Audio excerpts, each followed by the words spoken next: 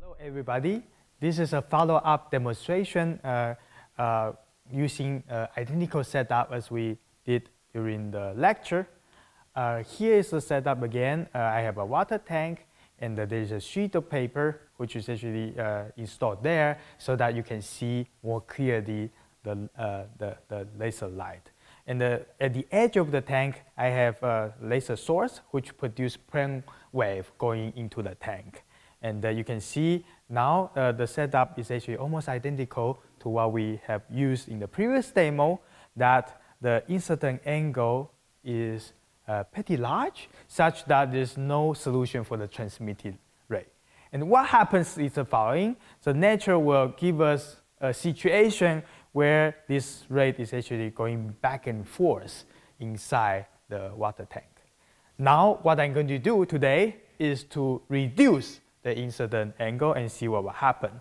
And according to the mathematics, at some critical angle, if the angle, the incident angle is small enough, there will be mathematical solution such that the transmitted ray will show up uh, uh, at this critical angle. Uh, let's immediately do this experiment uh, by reducing uh, slowly the incident uh, angle. We can see that uh, other angle is actually reducing,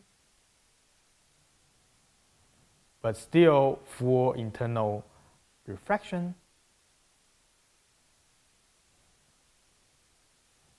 You can see at this instant of time where I just reach small enough angle, which is actually the critical uh, angle, you can see immediately that the transmitted light show up on the screen. Um, you can see if I continue and reduce the incident angle even more, uh, this transmitted light angle also reduce as we have predicted from the Snell's law equation. And if I continue and reduce uh, even more the incident angle, you can see the, the internal refraction. Uh, you have two uh, times of internal refraction, and the, ray goes through the surface twice. Therefore, you can see now I have two lines on the screen.